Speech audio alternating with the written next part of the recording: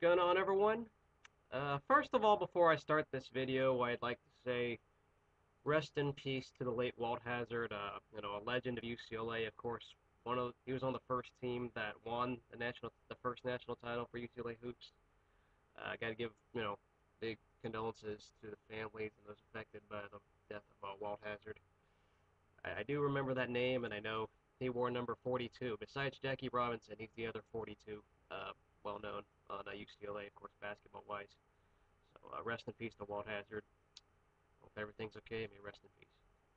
Now on to the game. Uh, pretty solid, very solid win. Uh, the scoreboard, you know, speaks for itself. Colorado was Colorado, and thank goodness UCLA took care of business like they're supposed to. They ran the ball all over, all over Colorado's defense. I mean, Colorado depleted defense. I knew that. Their secondary is very depleted. Uh, Kevin Prince, very efficient on the game. I know it's we're playing against Colorado, but hey, it's nice to see that Prince is making some good throws here and there. There, there he could have had more if he hit some open receivers, but you know, it starts out with a nice pass to Shaquelle Evans. Uh, you know, the deep ball working, and then of course the running game was effective. Uh, Sean Westgate got an interception. Uh, congrats to him. One of the, uh, I think he's one of the seniors on this team as well. Uh, senior day, of course, in the Rose Bowl. Uh, you know, thank you for taking care of business at home. This team is going bowling, so it's nice to know that they'll, have the postseason. You know, it started out 21 to nothing, and we never really had to look back too much. Just you know, the second quarter was a little sloppy. I think there was, you know, Colorado took advantage of us a little for a one score, but uh, and, you know, back and forth, it was just kind of, okay, we got the stops we needed to, but this is just Colorado being Colorado. They, they're a mess right now. They have a lot of problems. I'm not going to say too much about, you know, trash talking to them or whatnot, because Colorado is in a pretty tough situation, we'll just say. Tyler Gonzalez missed that one field goal. That was a little bit painful, but, you know, he's a walk-on. I mean, what can you do? Uh, fourth quarter, though, is all Bruins. Once again, they got to run up the score on these guys. Lots of uh, runnings, lots of plays. The running game was so good to see. Prince was doing the reading on the pistol very well. He passed when he needed to. Uh, Colorado secondary was given a huge cushion, and they're playing scared for obvious reasons, considering how short on the depth chart they really are. Colorado's got a lot of issues on defense, but Prince was very efficient. Uh, played pretty well out there today. I'll give some credit where credit's due.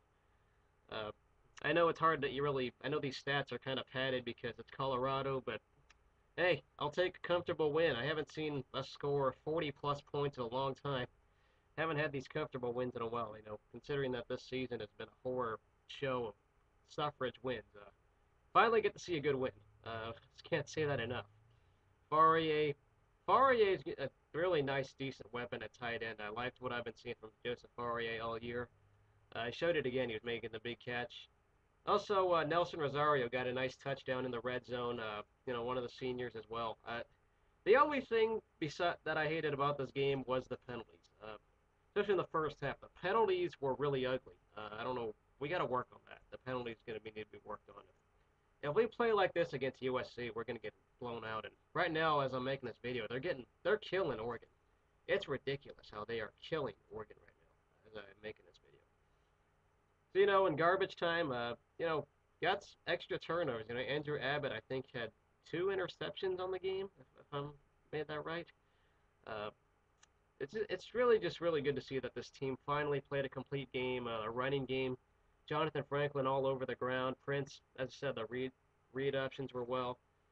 I wanted to see Derrick Coleman score a touchdown near the end. This guy's worked hard out for us four years at UCLA. It would have been nice. Uh, I wish the coaches put him in a little more. A lot of people, he's a lot one of those more underrated backs, but we just don't use him enough. I, I would have liked to see him more. Uh, also, Johnathan Franklin, please hold on to the ball.